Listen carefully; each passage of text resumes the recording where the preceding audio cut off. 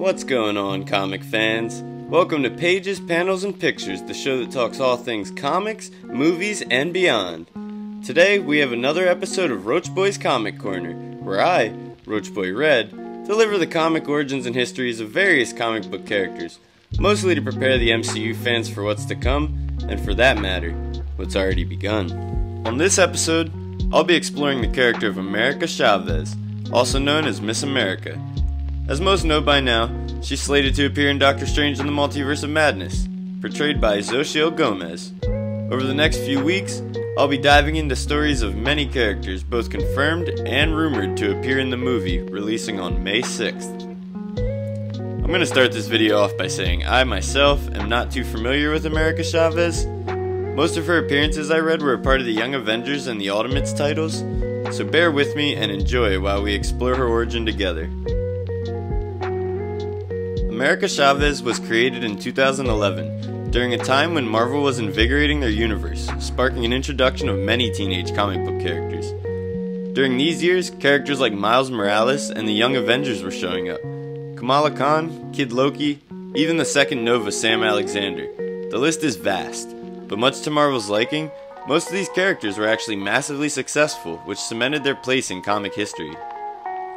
Anyways, America's story goes along the lines of this. She believed her and her sister Catalina were raised by their mothers in an alternate dimension called the Utopian Parallel, which was in the presence of a magical entity, the Demiurge, also known as William Kaplan, the son of the Scarlet Witch. We'll be covering both him and his twin brother Speed in a future video. So Chavez believed it was this demiurge that was responsible for imbuing her with her superpowers. She has super strength, speed, and durability. She can fly and is invulnerable, and she can project star blasts from her hands, which pack a punch capable of injuring even the likes of Captain Marvel. This actually sounds like a fairly similar power set to Marvel.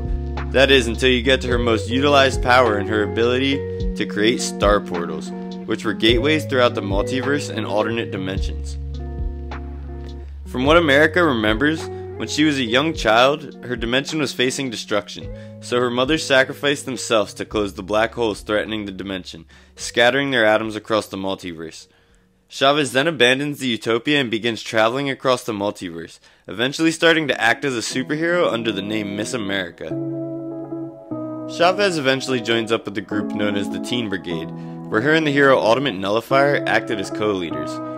While with the team, Chavez managed to free an entity known as the In-Betweener from a government confinement facility.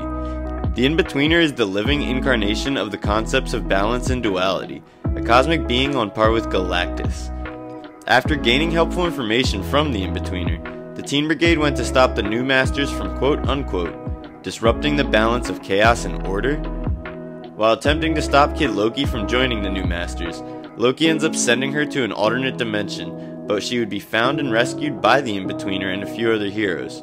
Once back in the 616, Miss America and her team took on the Young Masters and the villainous Doctor Doom, but in the end, the Ultimate Nullifier ended up shooting the In-Betweener, deciding that sacrificing him was more important for the greater good. This actually eventually played a part in Miss America splitting up from the team.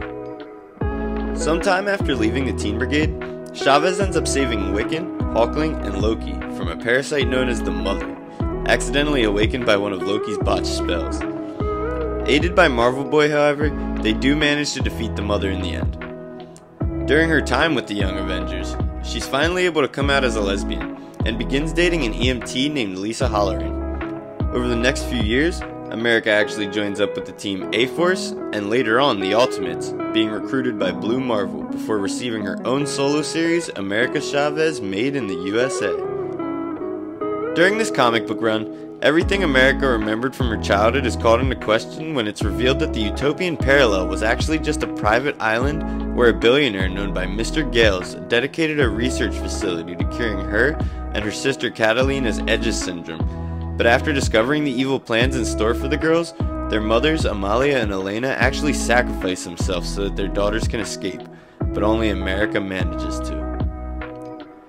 Miss America actually appears in some mobile games, and she makes an appearance in cartoon series like Marvel Rising on Disney Plus. But her first major appearance is confirmed for Doctor Strange and the Multiverse of Madness, where she'll be played by Xochitl Gomez.